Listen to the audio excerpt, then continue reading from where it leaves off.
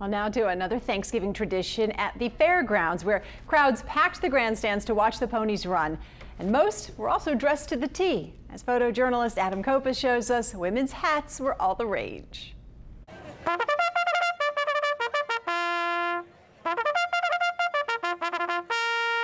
This is a tradition. Happy Thanksgiving, everybody.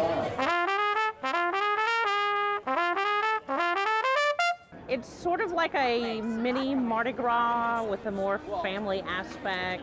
There's a tradition that you do before you get with your family. You come here, you watch the horses race, you dress up, and then you go and you start your Thanksgiving. We um, always come to the racetrack in the morning to watch the races, and then we go home and eat. We take every excuse that we can get to dress up. I'm excited to be out here and put on my finest hat. I've got a turkey, a baked turkey on my head. I think the types of hats worn are probably uniquely New Orleans, you know? I mean, we like to make our own things. Each year I go a little bit bigger and a little bit more bizarre. Um, I enjoy seeing what everybody comes up with. Last year I felt underdressed without a hat on. I love the reaction. I mean, if, if I didn't want a reaction, I would dress in a t-shirt and blue jeans.